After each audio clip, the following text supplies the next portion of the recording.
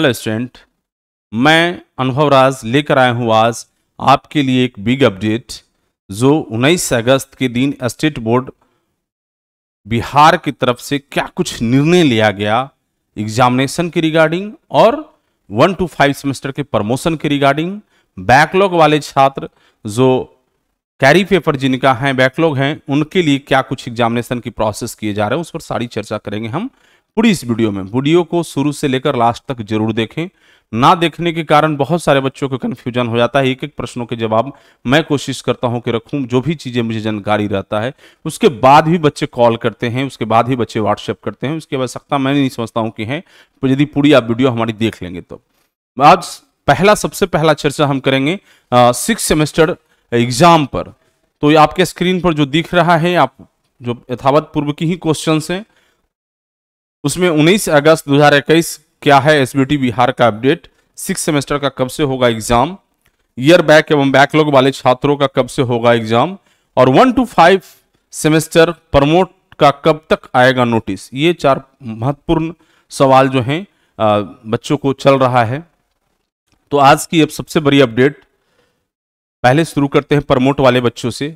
One two five semester की promote की जो पहल प्रक्रिया है state board of technical education के सभी पदाधिकारियों की सहमति से व सरकार की अनुमति से एआईसीटीई को आज एक मेल पत्र भेजा गया।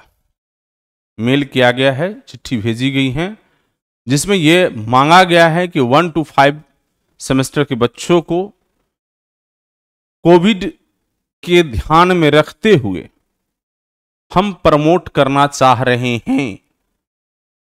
यदि आपकी इसमें कोई सी प्रकार की दिक्कतें हैं तो अपनी टिप्पणी को लिखें, या अनुमति है तो परमिशन को ग्रांट करें। तो मैं समझ रहा हूँ जहाँ तक ए आई पहले भी गाइडलाइंस जारी कर या क्लियर कर रखा है कि यूजीसी की गाइडलाइन के अकॉर्डिंग जो भी कोई state board of technical education या इंस्टीट्यूशंस जो भी हैं टेक्निकल एजुकेशन यदि बच्चों को प्रमोट कर रही हैं तो वो करें। तो इन सारी बातों को इंटरनल मार्क्स बेसिस पर जो भी प्रमोट करना चाह रहे हैं। पिछले बार से इस बार प्रमोशन की रूल में चेंजिंग भी आएगा जहाँ तक मैं समझ पा रहा हूँ। पिछले बार प्रीवियस मार्क्स रिकॉर्ड के अकॉर्डिंग मार्क्स दिया गया था। इस बार आ, सुन जो मैं सुन पा रहा हूँ वहाँ के पदाधिकारियों की विचार को या जो भी कि इंटरनल कॉलेज के मार्क्स जो तीस नंबर के आपके होते हैं उसके आधार पर प्राप्त छात्रों के मार्क्स पर यह प्रमोशन की प्रोसेस होगा। तो अभी कोई क्लियर नहीं हुआ है कि प्रमोशन की प्रोसेस क्या होगा। जब एआईसीटी से अप्रूवल होकर के आ जाएगा अनुमति मिल जाएगा तब जाकर के इसके प्रक्रिया में लोग लगेंगे कि कैसे बच्चों को मार्क्स को आ, ये फाइंड आउट करके दिया जाए जिससे कि बच्चों को कोई दिक्कत नहीं हो। तो ये बाद की प्रोसेस है। पहले तो प्रमोट की प्रक्रिया के लिए अनुमति हो जाए आप लोग की प्रमोशन के लिए चिट्ठी जारी हो जाए। उसी के अकॉर्डिंग आपके परीक्षा फॉर्म भरने का फ़ी भी निर्धारित होगा और उसी के अकॉर्डिंग कब से फॉर्म भरने की प्रक्रिया पोर्टल वगैरह ऑन होगा सारी चीज़ें। तो आज ये पूरी प्रक्रिया हुई कि जो एआईसीटी की चिट्ठी नहीं गई थी लेट शाम जो है मंत्री जी की उपस्थिति में ये चीज़ों को भेजा गया क्योंकि दो दिन सब्सेंट चल रहे थे आ, तो इसलिए आज ये प्रक्रिया कंप्लीट हो गया। दूसरा महत्वपूर्ण चीज़ें हैं जो सिक्स सेमेस्टर के एग्ज़ाम और कैरी बैकलॉग वाले के एग्ज़ाम की वो उस पर हमने एक सर्वे रिपोर्ट मांगा था पिछले वीडियो में बच्चों से कमेंट के माध्यम से कि आप हमें ये अपनी जो वीडियो देख रहे हैं इसमें आप कमेंट सेक्शन में जाके अपनी विचार को निश्चित रूप से व्यक्त करें, जिसमें ये ज़रूर लिखें कि आप कब से एग्ज़ाम चाह रहे हैं। क्योंकि मुझे विशेष सूत्रों से पता चल चुका था कि स्टेट बोर्ड बहुत जल्दी कर रही है। पूर्व की जो एग्जामिनेशन तिथि थी 20 सितंबर, उसे रद्द कर और जल्दी करने की तैयारी में है, क्योंकि आपदा प्रबंधन विभाग से अनुमति नहीं मिलने के कारण जब रद्द कर दिया गया तो कम से कम ये होना चाहिए कि 20 सितंबर के बाद एग्जामिनेशन हो। उसी के आधार पर मैंने पूर्व की वीडियो में बताया था कि अब लगभग जो है से फ़र्स्ट वीक ऑफ़ अक्टूबर से पहले एग्जामिनेशन नहीं होगा। लेकिन जब मैंने जानकारी लेना प्राप्त किया तो पता चला कि नहीं, ये लोग बहुत जल्दी में हैं एग्ज़ाम करा करके बच्चों को रिज़ल्ट देने का।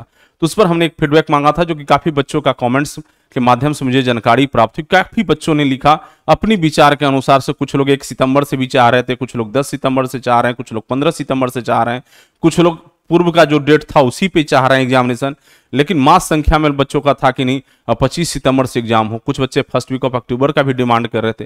कुछ बच्चे दुर्गा पूजा के बाद, दशहरा के बाद डिमांड कर रहे थे। तो बच्चों में विभिन्न प्रकार की विविधताएँ हैं, विभिन्न प्रकार के विचार हैं, अपने सुविधानुकूल सभी रख रहे हैं। तो इस स्थिति को ध्यान में रखते हुए आज हमने अपनी तरफ़ से स्टेट बोर्ड में पहुंचकर मैं करीब बारह एक बजे के आसपास हमने इस चीज़ों को पुख्ता से रखा कि बच्चे की ये देख लीजिए फीडबैक हैं और बच्चे ये चाह रहे हैं। तो उन लोगों ने भी कंसिडर करने की बात कही है लेकिन ये ज़्यादा संभावना बन रहा है कि 25 सितंबर के आसपास आपकी एग्जामिनेशन स्टार्ट हो जाएँगे। दो दिन आगे चार दिन पीछे ये ही रहेगा। एग्जैक्ट मैं डेट क्लियर नहीं बोलूँगा क्योंकि वो कुछ ऑलरेडी सरकार की जो पॉलिसीज़ हैं वो बहुत सारा चीज़ मैं क्लियर डिस्क्लोज नहीं कर सकता हूँ। एग्जैक्ट डेट कभी मैं नहीं बता पाऊँगा। सो so, स्टूडेंट्स ये अब आप लोग जो सिक्स सेमेस्टर के बच्चे हैं या कैरी बैकलॉग वाले बच्चे हैं, वो आज से एकदम सीरियस मोड में आप अपनी तैयारी में लग जाइए। अब आपकी एग्जामिनेशन सर पे हैं। आप अब अनुभव सर के यूट्यूब वीडियो देखने की ज़रूरत भी नहीं है। कृपया आप तैयारी में रहेंगे, क्योंकि आप जितनी अच्छी तैयारी करेंगे और अपनी तैयारी बेहतर करेंगे, तभी आप वहाँ कॉपी पर लिख पाएँगे, तभी आपको बेहतर मार्क्स मिल पाएगा। तो इसके लिए आपको तैयार होना होगा।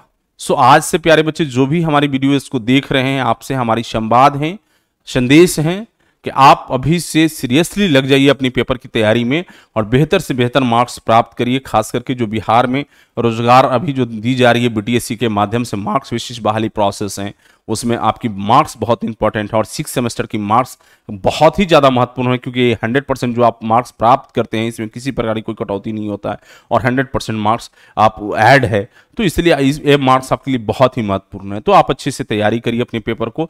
जो जो पेपर में दिक्कतें हैं, उसको आप क्लियर करते जाइए और उस एक क्वेश्चन वगैरह देखते जाइए। प्रीवियस ईयर क्वेश्चन को भी देखिए और ऑब्जेक्टिव वगैरह को भी देखिए, हमसे भी जितना बन पाएगा, आप लोगों को निश्चित मदद, सहयोग कर पाएँगे, जितना भी बन पाएगा हमसे, आप सभी छात्रों के लिए, सभी छात्रों के लिए। हम हमेशा कोशिश करते हैं कि आपके लिए कदम आगे बढ़ करके मदद करें, जो हम डिजर्व करते हैं, जो इतना हम सक्षम हैं, निश्चित रूप से आपके लिए साथ है। तो आज ये क्लियर हो गया कि आज की जो प्रक्रिया है, उसमें ए को आज चिट्ठी भेज दी गई है मेल के माध्यम से और अनुमति आ जाएगा। तो एक चीज़ और बोलना चाहेंगे, अब कोई चिट्ठी तीन दिन तक आपको जानकारी नोटिस वगैरह नहीं हो पाएगा। क्योंकि कल 20 अगस्त शुक्रवार दिन मुहर्रम का पर्व मुकर है तो उस दिन आपका कोई नोटिस जारी नहीं हुआ क्योंकि सरकारी छुट्टी है। और शनिवार 21 तारीख है और रविवार 22 तारीख है। तो शनिवार और रविवार दो दिन आपका सचिवालय बंद रहता है। बिहार सरकार के सेक्रेटरिएट बंद होता है। तो ये दो दिन भी चिट्ठी नहीं आएगा। तो जो भी अब कुछ न्यू अपडेट डिसीज़न आएगा या जो भी जवाब आएगा या जो भी नोटिस आएगा मंडे तेईस तारीख को, चौबीस तारीख को, और एक चीज़ और बता दें, परीक्षा पर ही एक डिसीज़न और फंसा हुआ है। वो है 25 अगस्त के आपदा प्रबंधन विभाग की मीटिंग आपदा प्रबंधन विभाग 25 अगस्त को मीटिंग का डेट मुकर्र किया है, और उस दिन मेजर निर्णय होना है कि एग्जामिनेशन कब कराने की अनुमति आपदा प्रबंधन दे रही है? क्योंकि पिछले बार भी जो एग्जामिनेशन रद्द की हैं, वो आपदा प्रबंधन के हस्तक्षेप से रद्द हुई है। स्टेट बोर्ड की तरफ़ से रद्द नहीं हुआ है। जिस पर मैंने बोला था तो कई बच्चे ने या कई लोगों ने कई संस्थान के शिक्षकों ने मुझे कहा कि देखिए अभी तो जो है बाढ़ तो वही 20 सितंबर तक थोड़े रहेगा, ऐसे नहीं। सच्चाई में बताया था, उस समय भी आज भी मैं बता रहा हूँ। अभी आप वर्तमान प्रदेश में देख रहे होंगे कि फ्लड की क्या स्थिति है, ये किसी से छुपा हुआ नहीं है। किसी से छुपा हुआ नहीं जो जहाँ प्रभावित हैं, जो बच्चे हमारी वीडियो को देख रहे हैं, वो निश्चित रूप से साक्ष्य और गवाह है कि कितनी भयावह स्थिति है इस बार फ्लड का खास करके। तो प्यारे बच्चे 25 अगस्त का एक मेजर मीटिंग में डिसाइड हो जाएगा कि एग्जैक्ट एग्जामिनेशन की डेट कब आना है। क्योंकि आपदा प्रबंधन की जो मीटिंग 25 का है, हो सकता है उससे पहले भी कुछ निर्णय आ जाए या ऑर्डर दे दें तो अलग बात। लेकिन हम समझ रहे हैं कि एग्जामिनेशन की नोटिस जो है सिक्स सेमेस्टर वालों को पच्चीस अगस्त से पहले अब नहीं लग रहा है कि आएगा लेकिन हाँ प्रमोट वाले की नोटिस जो है हो सकता है मंडे को आ जाए ट्यूसडे को आ जाए वेडनेसडे को आ जाए मतलब तेईस चौबीस पच्चीस में कभी भी आपकी चिट्ठी जारी हो सकती है। जैसे ही एआईसीटी का अप्रूवल मिल जाता है स्टेट बोर्ड को तो, तो मैं समझता हूँ कि आज आपके जितने सारे प्रश्न जो मैंने आप अपने स्क्रीन पर देख रखा है वही चार प्रश्न हैं जो कि मैं पिछले बार भी वीडियो में दिया था। तो लगभग आप लोगों की सारे प्रश्नों का जवाब और डॉट क्लियर हो गया होगा। तो मैं समझता हूँ कि अब यदि कोई डॉट है, किन्हीं को लगता हो कि प्रश्न है तो आप बहुत ही महत्वपूर्ण समझते हो प्रश्न इतनी चीज़ें बताने के बाद तो निश्चित रूप से मुझे कॉल करें। ये मैं मना नहीं करूँगा कि अपना कॉल करें। लेकिन एक जितनी बातें मैं बता चुका हूँ, उसी बात को यदि पूछने के लिए कॉल करते हैं तो थोड़ा सा मुझे भी इरिटेशन होता है।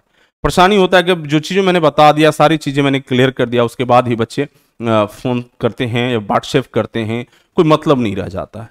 तो ये क्लियर है। यदि आप, और एक चीज़ और मैंने बताया, आपको एक ध्यान रखिएगा, कट ऑफ़ डेट एग्जामिनेशन का, कि आपको बी पच्चीस के आसपास एग्ज़ाम स्टार्ट होने जा रहा है। लगभग मान के चलिए, लगभग मान करके चलिए। लेकिन उसमें आगे पीछे यदि होता है तो और भी मेरी कोशिश है कि बच्चों को जो आया है विचार उसमें भी हम रख रहे हैं प्रमुखता से अपनी बात को कि बच्चे की हित को ध्यान में रखते हुए एक टाइम रखा जाए, क्योंकि आप डेट एक महीना भी टाइम नहीं देंगे और डेट आप अनाउंस करेंगे तो फिर बच्चे को माइंड सेट करने में भी टाइम लगेगा।